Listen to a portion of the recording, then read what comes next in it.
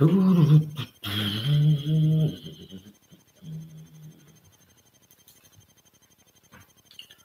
won't wait too too long. I don't imagine there'll be too many people showing up, but it's all good.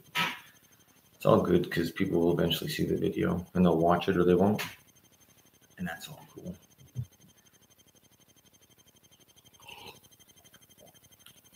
But for when you do watch it, hey guys, how's everybody doing? This is Peter Branscombe. I'm living in occupied Canada. Probably talking really low too. Sorry. Peter Branscombe in occupied Canada.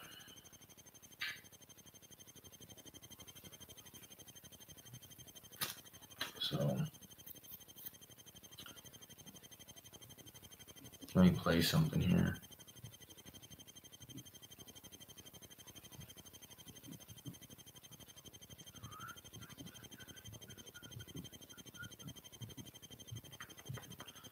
Something that our education minister said, I don't know when it was, it was pretty recently. Nobody voted for him, I don't believe. He just was appointed.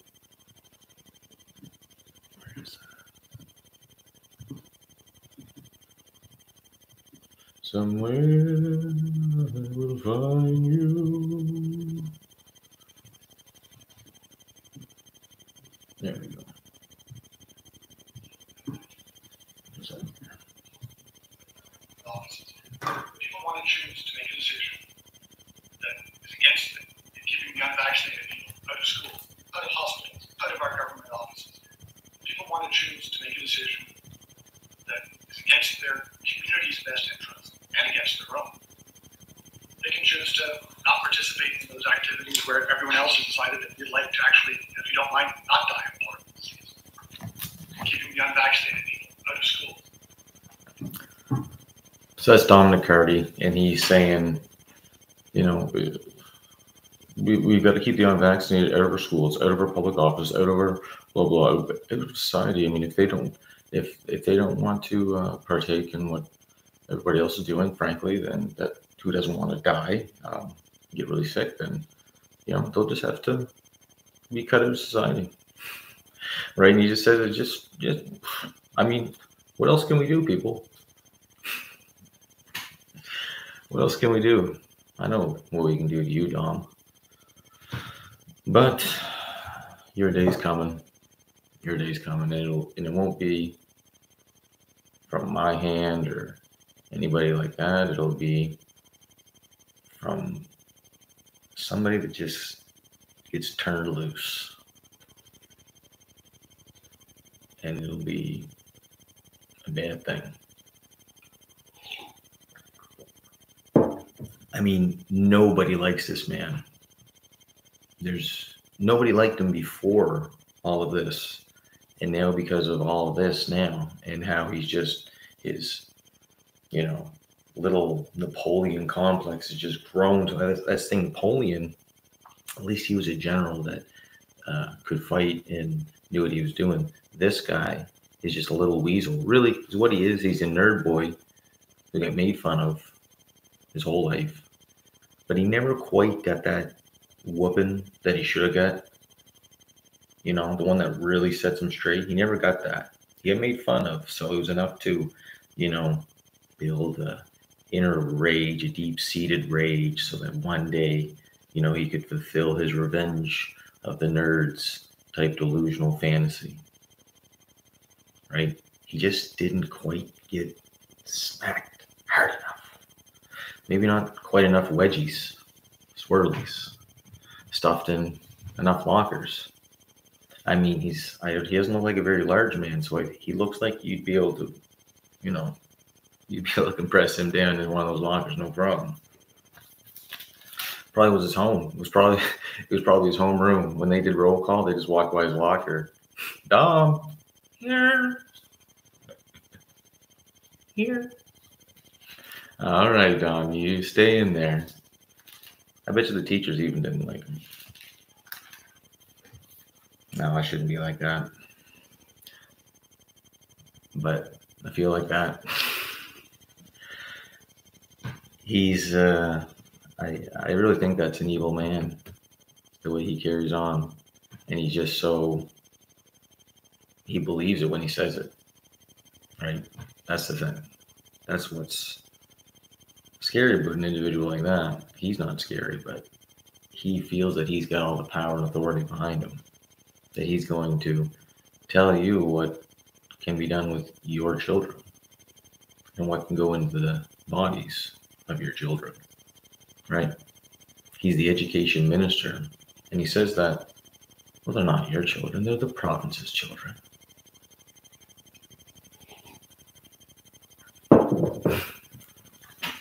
Yo, armchair, what's up, buds? What is up? Just talking about our favorite Dominic Cardy, education minister in New Brunswick. He's a real, he's a real cheeky fellow. Uh, so I was going to talk about Adam Green tonight, but I really, I, I was just thinking about it hard today, and I,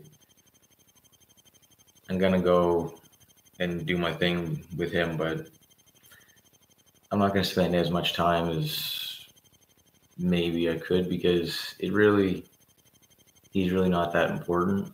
What's more important is that he's leading a lot of people astray. I'd say a lot of young people. I'd say a lot of Adam Green's fan base. It's probably the younger, younger kids, younger generation. I mean, he has this great big long beard and long hair, and he thinks he's this Viking, right? and then thinks he's Viking Jesus, right? He's got his little Know More News picture where he's, you know, oh, Viking warrior, right? I don't know if the dude's ever been in a fight in his life. You know, seems pretty frail. I know he played basketball. I've seen those videos, so he's pretty athletic, but mm, I don't know. I don't think he's a Viking warrior. I don't think. And then he's got his little little Trinity symbol, right? The spiral Trinity. You know, it's funny because he spends so much time mocking Christ and God and the Holy Spirit, but yet he's got his own little Trinity symbol. That's that's funny. Really funny. It's funny that he tries to replicate his appearance as if he's Jesus, right? As if what he looks like is what Jesus looked like. Long haired guy with friggin' long shaggy beard. You don't know if that's what Jesus looked like. He thinks that Cesare, Cesare Borgia, right?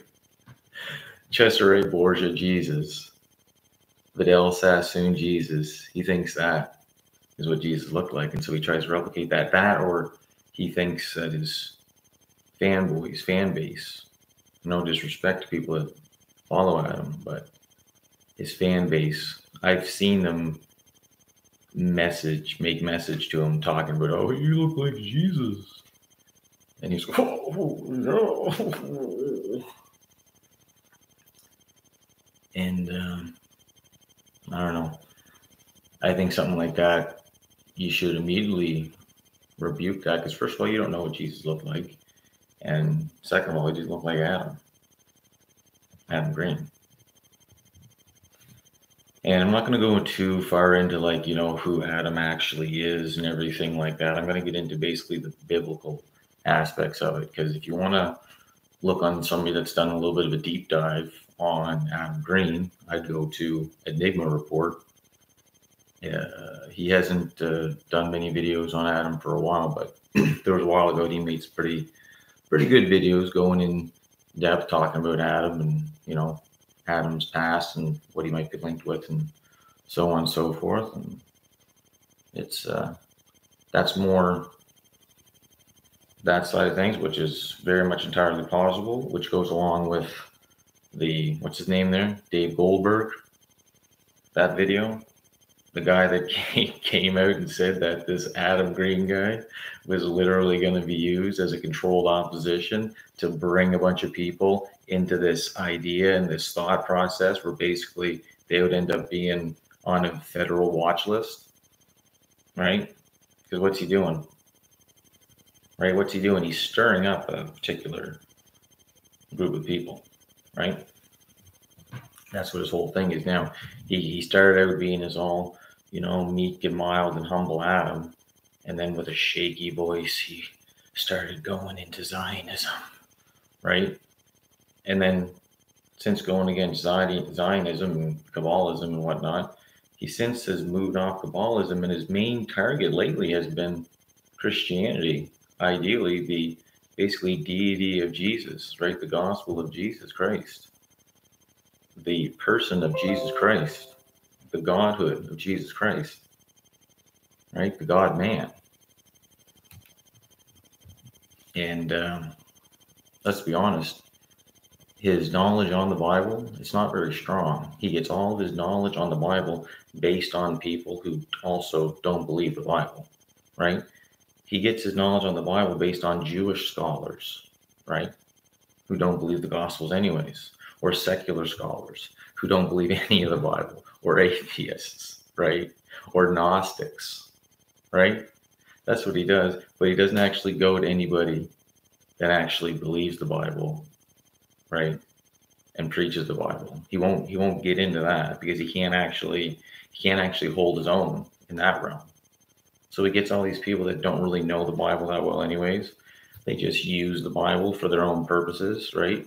They use the Bible when they want to use it, but then they discard it for everything else, right? And that's that's the worst. That's the absolute worst, right? Piggybacking off of God's word and then and then snickering and ixnaying it over there. Like, how sneaky and pathetic is that?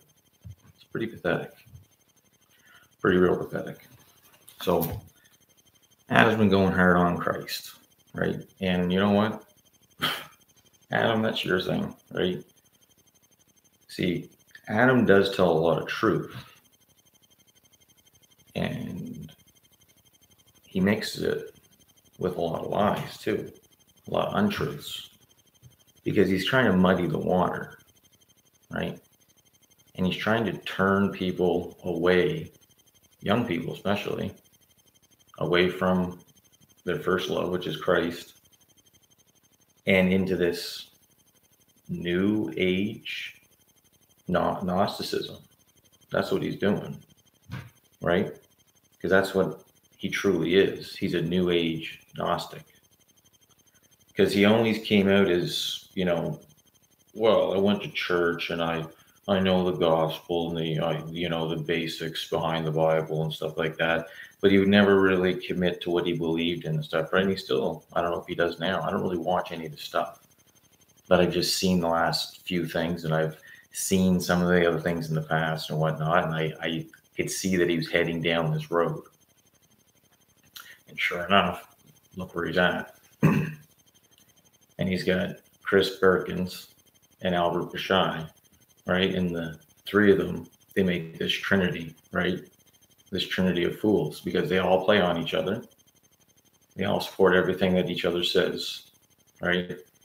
And they're just right, like a lot of their like they're willing, they were willing, I will say, they were willing to basically cut half their audience, right? Because they'd have a lot of Christians that follow their stuff because it was about Zionism and whatnot. And then all of a sudden they just like flipped, but I knew it was coming. And now they just go hog wild on Christianity, right? And try to make Christians look stupid, right? But there's so many ways that the devil has tried to infiltrate the church and infiltrate Christianity that you can point to a lot of different areas where Christianity has failed or where Christianity is doing the exact opposite of what its commission is, right? You can see Jewish infiltration. You can see satanic infiltration, right? You can see other denominations and their infiltration and the occult infiltration. You can see all these infiltrations. Why? Because it's a institution, okay, that is on this earth that is made up of men. Okay? It's been commissioned by Christ, right? Christ is the head, but the churches are made up of autonomous churches in all the towns and all the cities and all the, the places, right? The shires and so on and so forth, all the townships. So every church is autonomous, right? But they all act in accordance to what the head says, which is Christ. Now, are you going to have over the years variations? Are you going to have splits, right? As places grow, you're going to have denominational splits. You're going to have places going here. You're going to have different kind of ideas and the way people want to go about things happen over here. And you're going to have these splits. You're going to have these theological splits. People are going to think differently on things, right?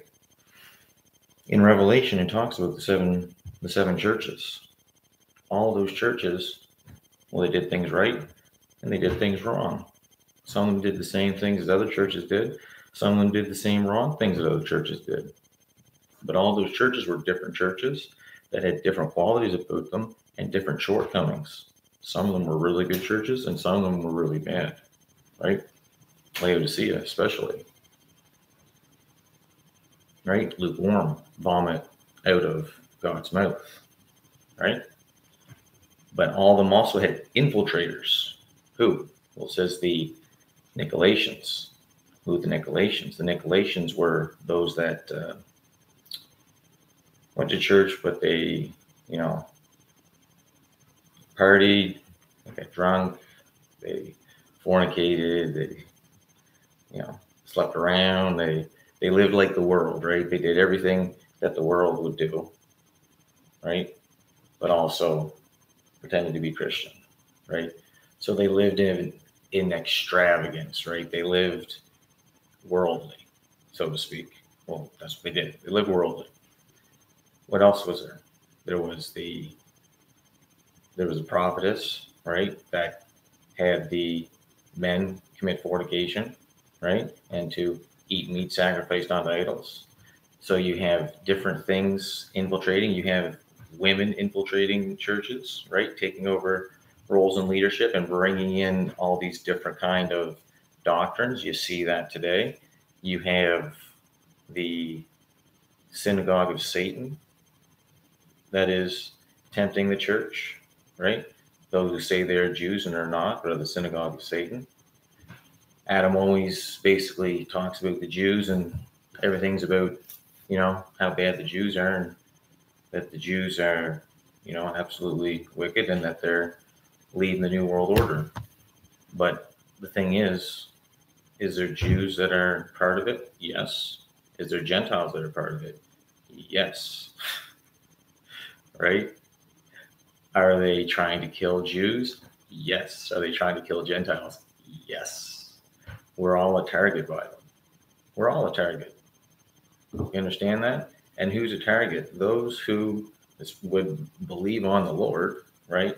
Those who will not go along with the beast system, which we are in the, you know, basically the uh, preamble of, right? We are in the birth pangs of, we're in the beginning of sorrows. But you get to understand that it says in Revelation that there's going to be Jews, a remnant of them, that are going to turn to Christ and they are going to repent and they're going to turn back to the Lord. So, can we hate the Jews? No, can't hate the Jews because are all Jews communists? No. Are all those that are, you know, we know that in the cemetery in Israel, there is a section for Moses Hess who pushed labor socialism, right? So there is this whole thing that is taking place, right? Where Israel is going to be at the center of all things. But that's going to come after what we're seeing today, right? This here is all kind of a buildup where a lot of people have to die. A lot of the old world has to be destroyed in order to make way for this new world order, right? And then when the new world order is in place, well, then that is when the Antichrist will emerge because the Antichrist is first going to come with technology, with many signs and wonders, things that are going to be making the people want to worship him, right? And he's going to have a false prophet that's going to say, you know, this is the guy, right? And it even says that the Antichrist, the beast, he's going to get a wound to the head and he's going to be resurrected. okay. So he is the story of the dying God, right? Audio cut.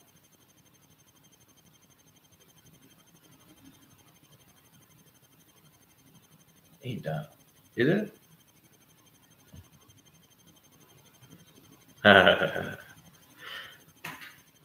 so that is the example of the dying God. Okay. The Antichrist is the dying God, the dying and rising. Okay. The sun is a picture of that. Sun goes down, sun comes up. Well, who is the true representation of death and resurrection? Jesus Christ, right? Died, heart of the earth, three days, resurrected unto the Father. Seen by many. All good revelation. No worries, bud. No worries. So, the Antichrist, if he dies and is resurrected, is he not going to be seen as God? Right? right? That's what Revelation says. See, Adam Green pushes this theory that Jesus Christ is the story of the dying God. He's just an adaptation of that. And where did he get that from? He got that from what was it called? Someone in the chat say it. What was that movie? The where at first they did all like the gods and who Jesus was, and oh, this is Osiris and this is Horus, and and they were this, and and this culture had had the story of Jesus, and this story, what was that? Not the Matrix. Uh, mm, you know what I'm saying. You guys know what I mean. And they did a redux to it. Da Vinci Code? No. I think there might have been, there was a lot of basically the information they got for this came from the Da Vinci Code. Because why? Because Dan Brown was an occultist. He knew all about the occult thing. So he tried to basically say that the church was behind it, but it was occult stuff. No, uh, I can't remember. Anyways, that's where he gets it from. It was from a whole documentary where a lot of people seen it and people still reference to it. And usually, most people that rep- that talk about Christ as being just a representation of the dying God from all the from all the other mythologies, from all they all get it from this same video that's about basically the you know the Great Reset, and at the very beginning it has this 10 minute thing about how the Bible is false and Christ is it's basically the end of Pisces and we're going into the age of Aquarius kind of idea, right? And he was the idea of the day. But uh, Adam Green, he'll take all these things like that and he'll try to say that that's where the Bible gets its idea from. But the whole idea is that the Bible is the inspired word of God. It says that inspired means breathed. God breathed, right? Because he spoke the world into existence. He spoke creation into existence, right? In the beginning was the Word, and the Word was with God, and the Word was God, right? In the beginning, God created the heaven and the earth, and the earth was without form and void, and without and the earth was without form and void, and the darkness was upon the face of the deep, and the Spirit of God moved upon the face of the waters. And God said, Let there be light. And there was light. God spoke it. He said, Let there be light. Big bang, if you want to call it that. Right? But God initiated it by saying, Let there be light. So the Bible takes all the mythologies, okay? The Bible takes all of the ideas and concepts that man has made and it actually condenses them condenses them down in a truthful book okay and it is basically the testimony complete testimony the genesis and revelation of jesus christ because it says in the beginning god created the heaven and the earth and the earth was a form and void and darkness was on the face of the deep so it says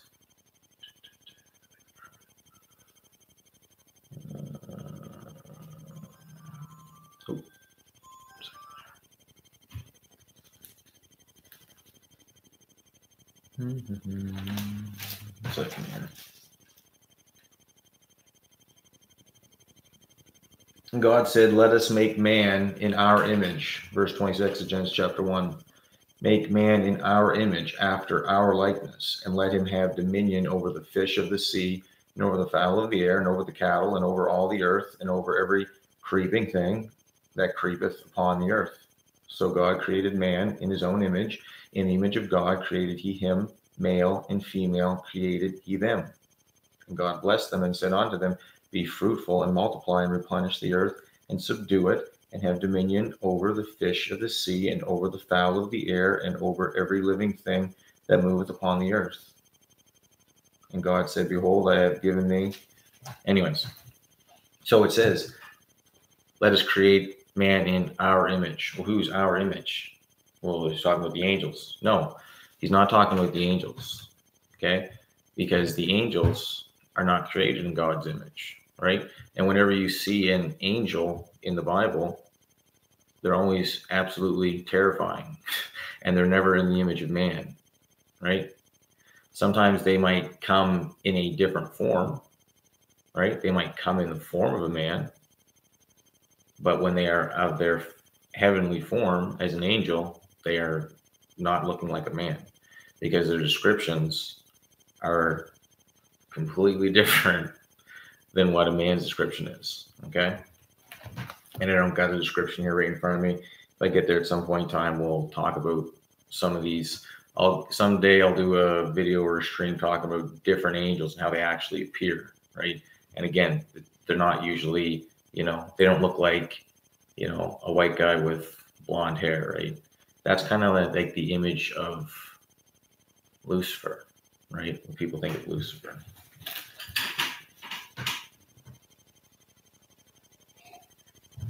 Or He Man, right? So God created them in His image, right? Well, who's in the image of God? Well, Jesus Christ, because Jesus Christ is Lord, and Jesus Christ came and lived as a man. He was the Word who became flesh. Okay? So we are created after God's own image, just as God's Son, Jesus Christ, was created after God's image. And he was with God from the very beginning, because it says in Revelation, because this is Genesis, like I said, in Revelation, he says, I am the Alpha and the Omega, the beginning and the end, right? I'm the first and the last. So he's the lamb that was slain from the foundations of this world, right? So you got to understand that Jesus Christ has always been there. But Adam Green, they'll say that Jesus Christ was a concept that came later, right? As this, you know, fake fulfillment. Well, I'm telling you, if someone can implant all that in this and be as consistent as they are in this over a period of that's the thing. These this was put together 1611, right? But they weren't written in 1611, right? This book contains the history of known civilization, right? There's places that were just discovered in the last hundred years that they didn't know actually existed except it being in the Bible, right? Um, an example is the uh, Hittite Empire, right? They didn't believe that the Hittites were actually a powerhouse at one point in time. And then they actually found the Hittite kingdom, which was uh, Hattusha. Hattusha. And uh, anyways, like Jericho, they found Jericho, Sodom and Gomorrah. They found Sodom and Gomorrah, right? They found all these places. They're all real places, right? Egypt is a real place, right? All the empires of the world, world history are in this. The only places that aren't in here, and it even does mention them, it, mentions the uh, the isles from afar off, right, and the peoples of the sea, right. So it does mention people from other places, right? But it mainly has to do with obviously Middle East, right? Because that was the area that it was written. But it records all that history and it records pre flood history, right? And it records the post flood and it records basically the dawn, the cradle of civilization in Babylon, right? The cradle of civilization, that's what we're always taught in school. And lo and behold, the first city built after the flood, where they all gathered together, was Babylon. Right? So that's where Abraham came out of, the Ur, Ur of Chaldees. He came out of the Ur of Chaldees and then went down into Canaan, seen the promised land, had a dream, was told that he was going to go in Egypt and he was going to stay there and basically they would remain in Egypt for 400 years 400 plus years or whatever until the iniquity of the Amorites the people who were in the land of Canaan was fulfilled and then at that point in time the Hebrews would be have been made a powerhouse, right? Because this is the crazy part, right? Abraham was told, You're not going to go, you've seen it, you're not going to go there yet. You know, you're going to end up in Egypt, right? You're going to end up in Egypt before you ever get back here, right? And what happened? Abraham had Isaac and Ishmael. Ishmael created the Arab nations. Isaac had Jacob and Esau right? Esau, Edom, Jacob had 12 sons, right? One of them was Joseph. What happened to Joseph? Threw him down, threw him down the well, and then uh, he got sold to slavers, taken to Egypt. Became a worker for the Pharaoh, right?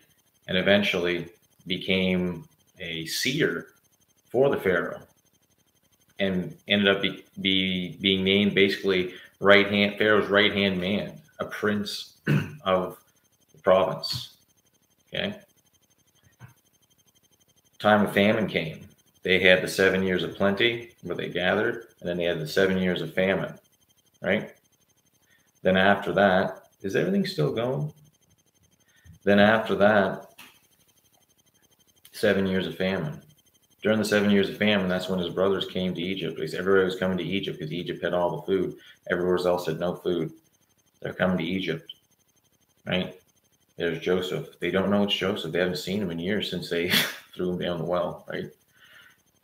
So when they go, he reveals to them, you know, after a couple things take place, right? And uh, they end up staying in Egypt, right?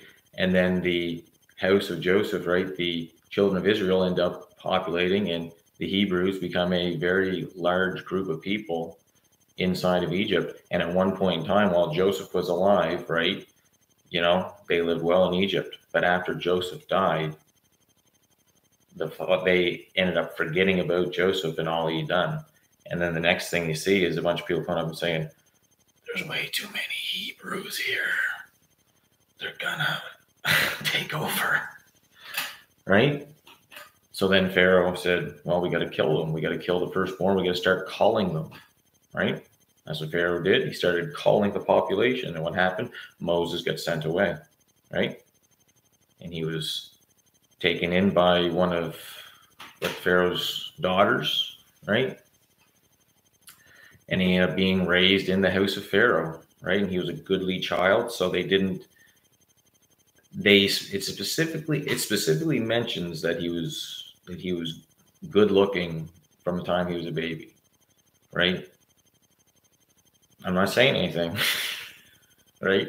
But there's a general stereotype that certain people are not the most attractive at times. And so they specifically mentioned how good looking Moses was, right? As to, I assume, to blend in, right? To blend in with the Egyptians. So he's with the Egyptians. You know, everything happens there. He grows up, finds out what's going on, ends up killing an Egyptian, ends up going living in the tents of Midian, you know, for years. And then, uh, you know, gets called to the mountain of God. Burning bush goes back to Egypt, confronts Pharaoh, right? He's timid at first. God says, Do what I ask you to do, and it's all going to be good. Just, he gives him exact directions like go into Pharaoh, take your staff, hit it on the ground, and say this, right? I'll take care of it. So, does the does the uh, judgments on Egypt, final judgment, creeping death, right? The angel of the Lord comes, blood on the posts, right? I'm, I see I'm getting into too much detail and I'm dragging this out. This is all talking about Abraham, okay? Abraham had a dream about all this. This is the iniquity of the Amorites being fulfilled, okay? All this time has to take place, right? They had to go into Egypt. All this stuff had to happen. The generations of people that came up, all this to come to this point for something that was told to Abraham like hundreds of years before, right? So, creeping death comes. Every house in Egypt is hit by this, and any Israelites that didn't uh, put the blood on their doorposts and lentils. So, basically Pharaoh says, "Okay, get out," right? And they basically loot Egypt, right? And they throw all the gold and get out of here, right? And so they leave with treasure and tons of stuff. They leave Egypt, and uh, then you know Pharaoh ends up having you know second guessing himself and getting quite upset now that he doesn't have anything and he let them go and you know he's not really feeling like God anymore, right? Because God hit Pharaoh in all the manners in which Pharaoh believes he is God, right?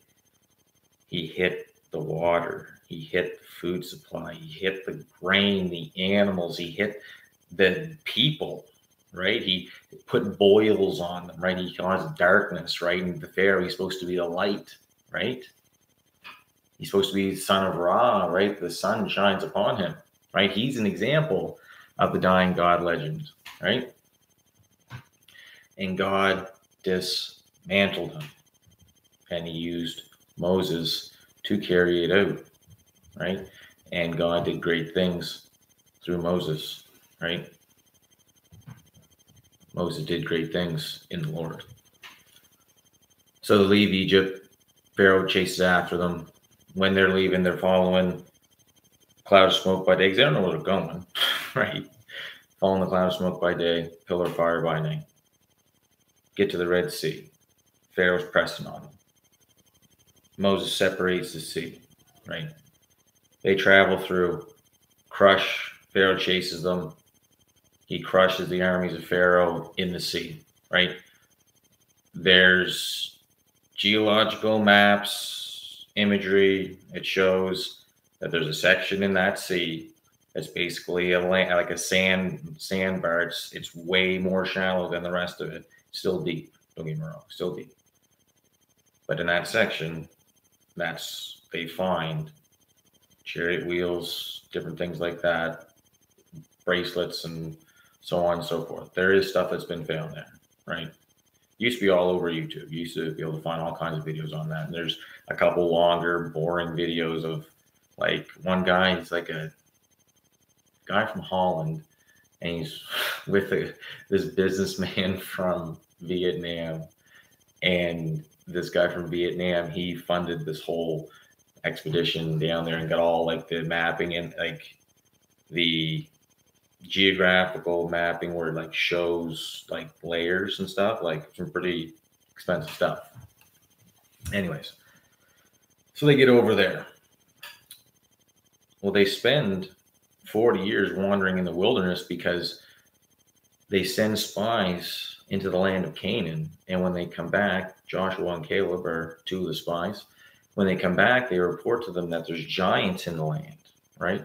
There's giants in these huge cities, and they got these massive walls, like, and the, you know, like the, the vegetation and everything like like it's just crazy there.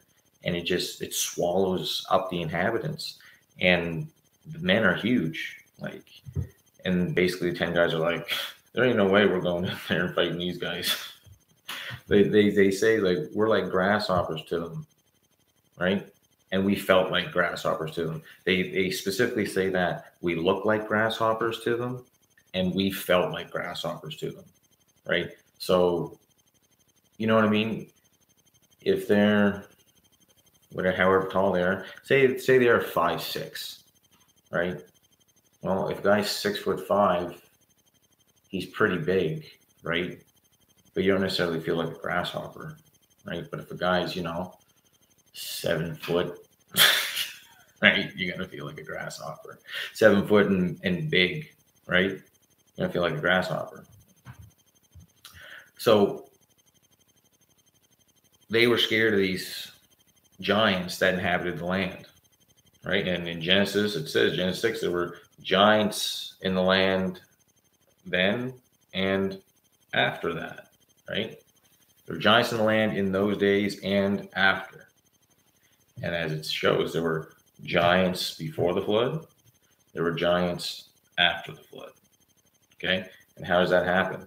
Is it of angels? Is it of angels that came down and mated with women? That's an idea that's out there. But that idea, I think uh, there's a psyop in that because it wants you to believe something basically off off worldly, right? And people will believe that, but they won't believe that God, right, could make Mary pregnant, right? They'll believe that angels came down and and mated with women, right, and made these giants, right, made cyclops, but they won't believe that God was able to make Mary pregnant with Christ, right? So I'll explain more about the Giants thing because I've looked at it all, right? And I'm not saying I've looked at it all and I know it all. I'm just my conclusion because for a while I was definitely down the angels came to earth and the book of Enoch and all this stuff, right? Because pretty much, listen, pretty much everything that I talk about, most of this stuff at one point in time, I was like, this? I think this is the, I think this is it, right? Maybe not everything, but like there's a lot of these different ideas that I've taken the time to look into to find out if they were true. Just like the Bible, you're supposed to look at these things to find out they're true. Be a Berean who searches the scriptures daily to find out to see if these things are true. So, Robert Sepehr, anthropologist, touches on many biblical subjects from a scientific perspective, scientific perspective. Now, I don't know what the quotation marks are for, but I find sometimes when they say a scientific perspective, they'll they'll try to find these really worldly ways to describe what the Bible's trying to say. When if you're somebody who believes the Bible, you don't you're not looking for an actual description on how this thing can happen because Again, if you believe in God, if you believe that God created, spoke the world out of existence, just like you believe that uh, the Big Bang happened, right? Then you never seen it, but you believe it, right? There's things that I see every day. Like we see what's going on around us every day, but I believe it a lot less, right? None of us believe what's going on, right? We understand that it's a huge deception and we can see it all, right?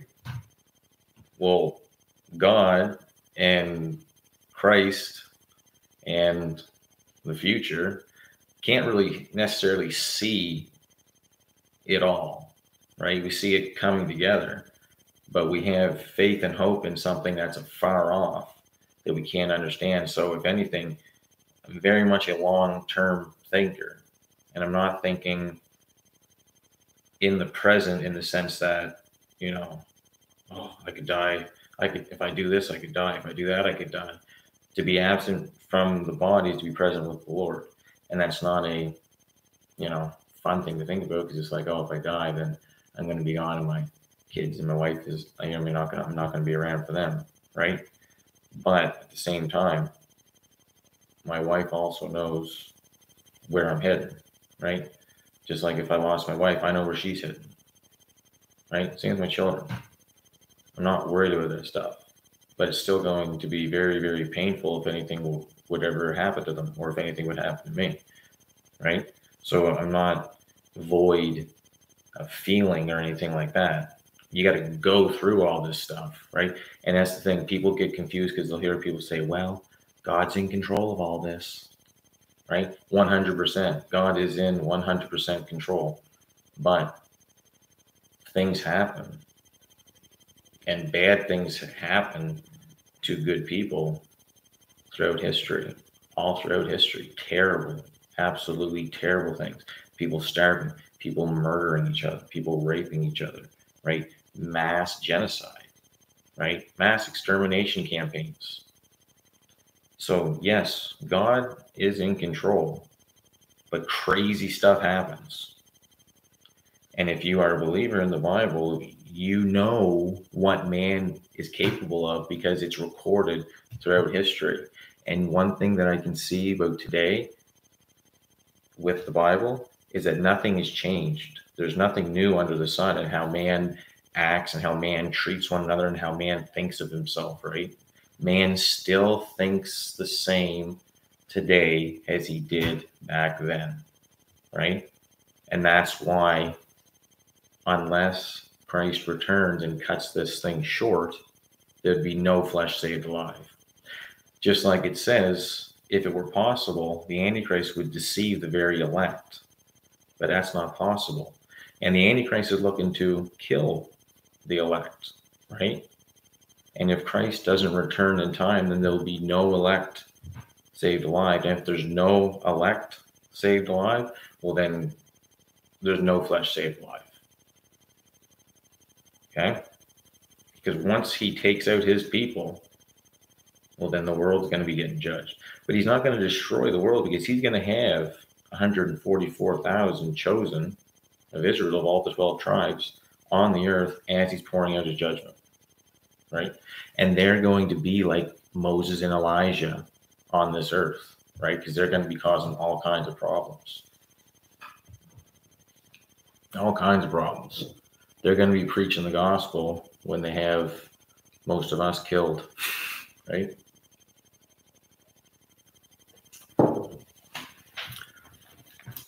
So they didn't, gonna get back around here. So they didn't go into the promised land, right? They had the bad report. I got off talking with the Giants and then on to the Antichrist. See, that's that's the thing you can jump anywhere in the Bible and you'll lead back to Christ. You'll lead back to where you want to be. It, it's circular logic, man. No, it's just it's God's word, right? And it's so consistent that you can literally go from one page to another page to another, and you're just going to be consistent the whole way through, right? The problem is that people don't take enough time to actually go through God's word and understand it. And they don't ask God to help them right?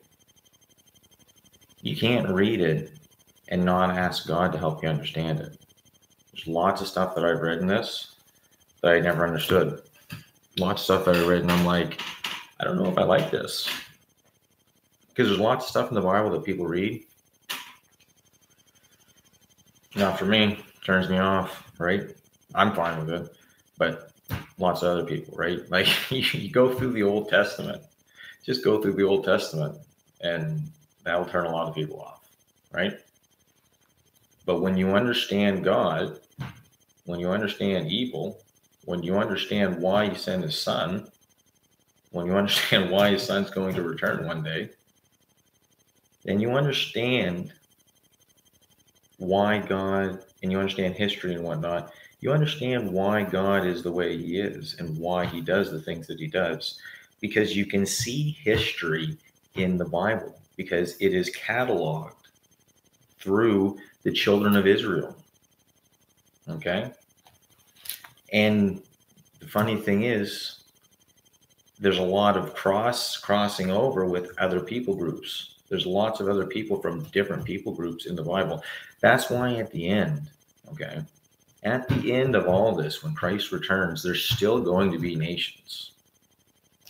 It's not every not everybody is going to be completely wiped out, right? Because there's going to be many people that don't take the mark of the beast. But maybe they don't. Uh, maybe they don't uh, get saved either, right? But they are able to survive it, right? That's possible because it says that those that are with Christ when He returns are going to be priests and kings. And what does that mean? It means that they're going to be given places of authority in ruling over the nations. Well, who's the nations? Well, the nations are the people that are still alive, that are still living. So you got to understand that there's actually going to come a time when there's people that are living and dying for a thousand years during the thousand year reign of Christ, right? The real thousand year Reich, not associated with that Reich. okay. So when he's reigning for a thousand years, there's going to be nations and they're going to be living and dying, but they're going to be learning the ways of the Lord. And at the end of that thousand years, Satan, who is bound in a prison, will be released and he will go out through the nations, to deceive them one more time, and they will all gather themselves again against Christ, against Israel. Okay. But that's not the Israel that people think of today. Okay. That's a totally different Israel that's way off into the future. So I'm not going to spend much time there. The thing is, if if someone tries to understand the book of Revelation and they hear me talk about these things and they they haven't read it, they're not familiar with the Bible, they're gonna be like, what is he talking about? What is the point of it? right? And that's some that's a part where I get kind of lost. That I take for granted that people don't know that much about the Bible because yeah, just I think I think there's a lot of people that are just unfamiliar with, with the Bible in general. They know parts of the Bible, they know pieces of scripture, but they in general don't understand the Bible. I think they're trying to. I do believe they're trying to but I don't think they fully understand. I don't. I don't think they know even to ask God to help them understand the Bible, understand the, God's word. Right? Help me believe it. Help me understand it. help me learn it, so I can, so I can determine whether or not I, I truly believe it or not. Because there's no point. There's no point in in playing along with this, right? There's no point in playing church. There's no point in playing religious, right? That doesn't get you anywhere. That is usually the problem, most people. That's usually how they become lukewarm, right? That's how they become ineffective. And that's how become, I think a lot of people get turned away from the church too, because they see the church and they think, oh, those people are hypocrites because they're supposed to be so good. Well, maybe you shouldn't also think that everybody that you should understand that everybody falls short, right? But people that are supposed to be religious, that's what that's the thing. They are being Nicolaitans, right? People that go to church but they don't seem any different from the world. Where when you got people in the world who seem way more separated from the world, and they look at the church and they say, "Jumpins, you guys are a lot like the world. What's going on here?" Right? So that's where, you know, I like to come in because I grew up really, you know, blue collar, grew up from the woods, you know, country boy.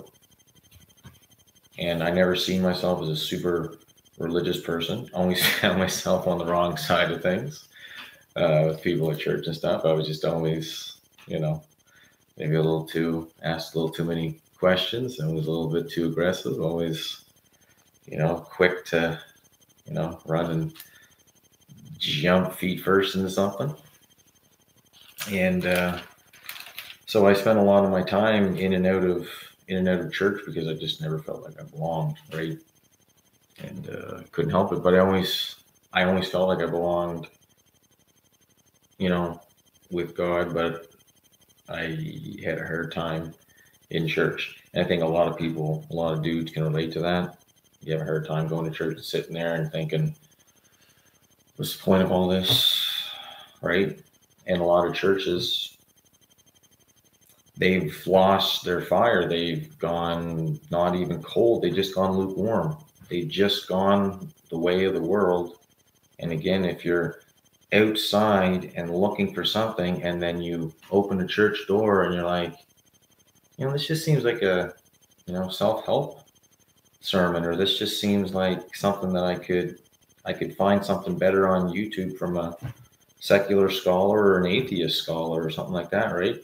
It's like you've got this whole book here, and some of these guys barely even preach from it. But you know what? A lot of those guys were also put in place. They crept in unawares. They went off to Bible school and they were taught these things. And they were taught not to use the Bible. They were taught not to know the scriptures. They were taught that oh, you know, people just can't understand the scripture, so don't bother preaching to them. Don't bother teaching them, they just won't get it. And it's like, that's the worst thing to do. What stupid logic is that? You imagine it's like, well, they'll just never get it, so don't teach them right from wrong. Really? And that's what the church has become in a lot of ways. And that's why the church is dropping the ball. And when I say the church, I mean the what's seen as the institution because the church is the body of Christ, which is made up of people. Okay? The church as the institution is what everybody sees as basically the the logos for Christianity, right? All the different logos. The I when somebody first thinks Christianity, the first thing that comes to their minds, right? Those initial images, like Adam Green trying to be look like Christ, right? So they talk about Adam Kadmon, okay? And just to finish the other thing up first. So when they wander in the wilderness, I go way off again, guys. So they wandered in the wilderness for 40 years because 10 of them said, We can't go in that land. Caleb and Joshua said, With God, we can go in there. And God said, Nope, because you guys are doubting me after I did everything that I did for you in Egypt, after I crushed Pharaoh in the sea, and you're worried about these guys over here. You don't think that I can move them? You don't think I can bring those walls down? Right? So God's mad. Wouldn't you be like, think about it? It's like it's like when you explain something to your kids and you you explain it and you show them you know step one step two step three and you and you show them all the ways and they're like wow dad you like you do that really well and and so on and so forth. And they're amazed at you know and you're showing them and they're like wow this is cool. I can't wait to do this right? And then you're like okay well i'm gonna go inside now. You i'll leave you to it kid and you go in and then you peek out the window and it's just like chaos. Just, right? The kids already, you know, got the bike upside down and they got their leg twisted around. and it's not a good scene. Well, that's basically what the children of Israel were like. It's like God showed them all the miracles in Egypt, led them out with a high, hard hand, right? And then they're like, oh, we're not going in there. Mm. Right? So God said, You're going to wander for 40 years until that doubting generation, basically anybody above Caleb and Joshua's age, until that generation dies. Until every one of them is dead, you're not going in there. Right? And so they wandered in the wilderness, and God fed them in the wilderness, and they griped and complained in the wilderness for those 40 years. But if they wouldn't have griped and complained in the first place, and they wouldn't have wandered those 40 years, and they wouldn't have had to gripe for 40 years, right? And God stuck with them. God stayed with them the whole time. He's like, my goodness, I just, I, I gotta, I'm gonna literally have to drag you guys across this desert, right? He, well, he did too, right? He literally he led them, right? When they had when Moses brought them the Ten Commandments, when they built the Ark of the Covenant, right? One went before them, the Ark of the Covenant. It went ahead of them, right? Cloud of smoke, pillar of fire went before them. God always went before them, showed them the way, right? Because He was showing them something, and through them, eventually, it would show the world the light of the, onto the nations, and then eventually, from them, one would come who would be the light unto the nations, right? But the world didn't recognize him when they came, and they still don't recognize him. But one is going to come in his name that everybody's going to recognize. And then when that happens, then he will come. Right? So all that, they wandered for 40, 40 years. And then finally, he said, okay, guys, it's time to go in. And when you go in, you got to kill everybody. Because the 400 years, the iniquity of the Amorites, don't quote me on the on that year number. The iniquity of the Amorites was fulfilled. And what was that iniquity? Well, they reached the tipping point of their civilization, right? They had giant cities, great walls. They were great warriors. They were decadent, right? They had all kinds of nice things. And what were they starting to do? They were sacrificing children, right? They were sacrificing people to their gods because that's what all civilizations end up doing. They end up worshiping gods that are all about degeneracy and all about just the worst things abominations that man could think of. And when a nation gets to that point, God sends another nation that's unknown to them in to clean up house. And he's done it time and time and again throughout history. Time and time again. And he's doing it right now. He's going to do it again after. So, Abraham had that dream all that time ago. All of like Genesis and the whole story of the Israelites, it's all based on like Abraham was given a dream, was told to come out of the Ur of Chaldees, went to Canaan, went to Egypt, dwelt there. All this stuff happened, right? And then finally they went in the land, and then they had to conquer the land. They got into many battles, slayed many peoples but they didn't slay everybody. They had, who was it? The Canaanite, the Hivite, the Jebusite, the Perizzite, Perizzite, um, Amalekite, the Amorite. Seven nations. Anyways, and among them were the Rephaim. Who were the Rephaim? The giants. There's literally a place called the Valley of the Giants, right? Of Bashan, of Bashan. He was giant. Goliath, he had four brothers, right? David, five little stones he took, right? See, they were in Israel. They conquered these other nations that worshiped all these other gods the gods of the mountains, the gods of the valleys, the gods below the earth, the gods above the earth, right? The gods of the sea, right? The gods of the air. They worshiped all the gods, right? They worshiped the phallus, they worshiped the vagina, right? Baal, Ashtoreth, right? They worshiped all these things. So all of these idols and these pagan deities were all ready in the land. And they would have come and they would have slain these things and they would have burnt them, right? And destroyed them utterly, completely. Everything about them destroyed them. But then there was nations that they left and they didn't quite root them all out. So those nations then dwelt with them. And because they left that remnant, right? Then what eventually happened? those pagan cultures eventually contaminated their culture. And then they started worshiping Baal, Ashtaroth, Chemosh, the abomination of uh, um, Moab.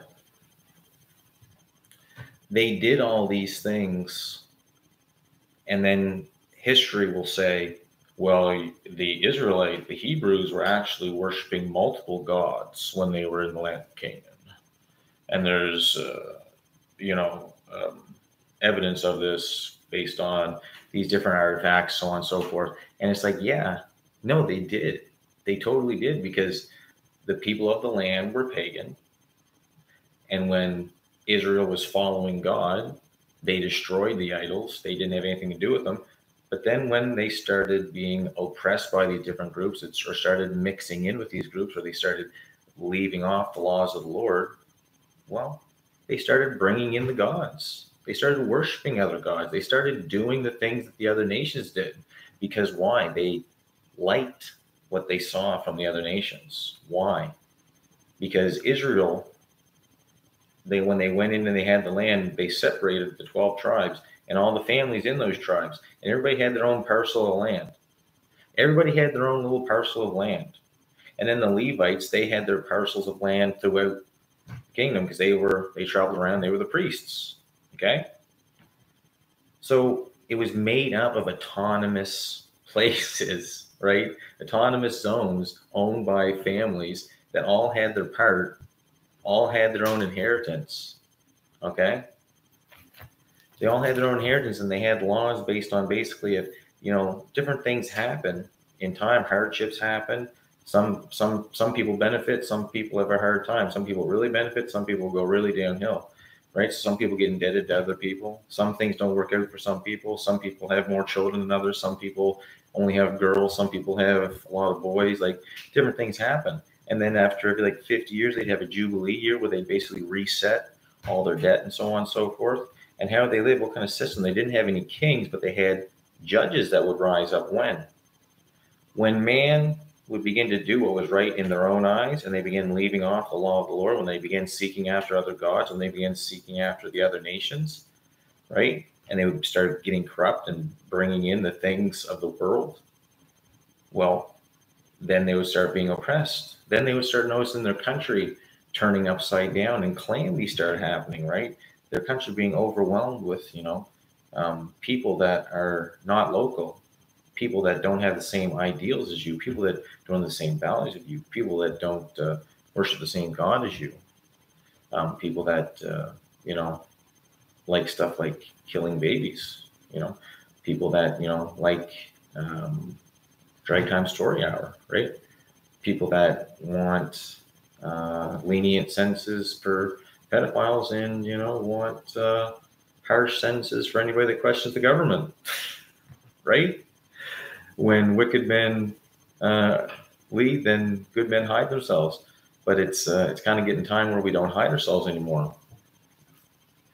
Getting off topic with saying that, but um, that's what happened in Israel because it's all a shadow of what's happening today. So when I talk about the Bible, too, guys, I hope you understand the nuances in a lot of my statements too, and how the Bible is reflecting things that are happening in the world today and how society is, how the culture is, what happens in the culture, and what happened with Israel every time they degenerated away from God, right?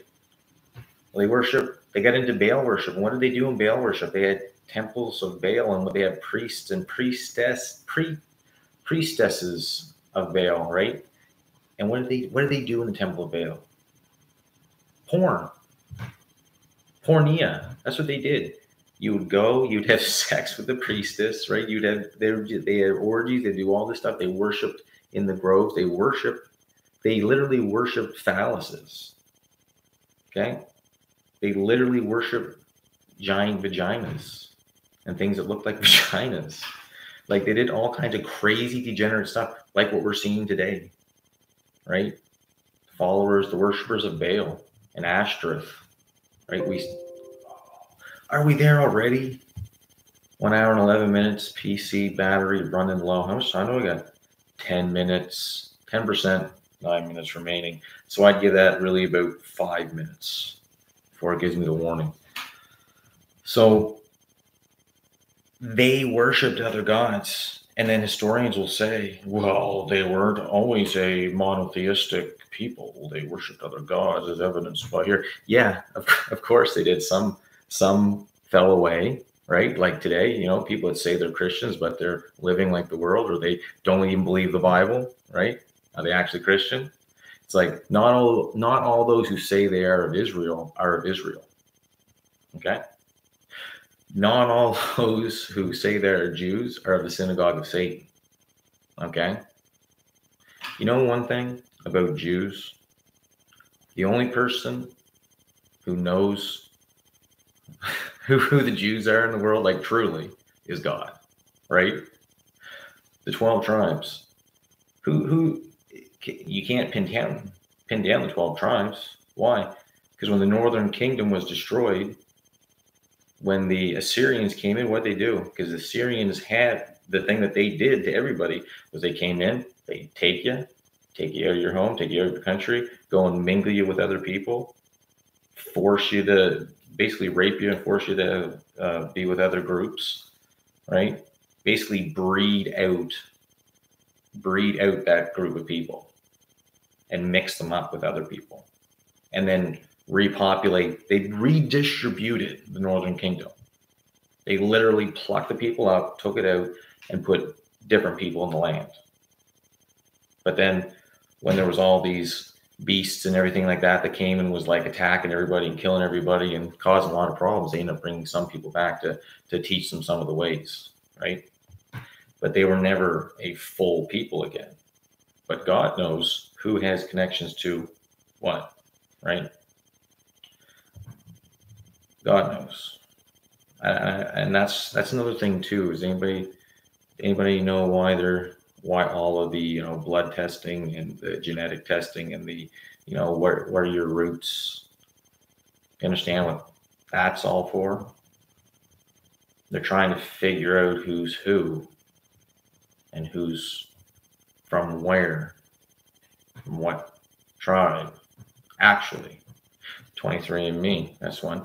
Brandon Glock. Glock. I always want to call you Glock. That's cool though. Call you Glock. Brandon Glock. Braden. Brandon. Braden Glock. Like, Fritz Bar. How's it going, buddy? Well, guys, this is gonna die here. I've been going on for a while. Seven minutes. I got a few minutes. Braden likes the Glock comment. I would too, right? Like when I used to work uh, in corrections, they, they used to call me Pistol Pete, and that was a good that was a good name to have, Pistol Pete. Pistol Pete. And everybody called me Pete. It was always Pete, Pete. it was never Peter. Never Peter. Always Pete. Let's go, Brandon. I see before we go, landing on a good note. Um, I seen the uh, the Simpsons one where it's like uh, are they saying Boo Earns? But they are they but they switch it and say, are they saying fuck Joe Biden? No, they're saying let's go Brandon. And then last moment, I was saying, let's go Brandon. Oh, I'm dying.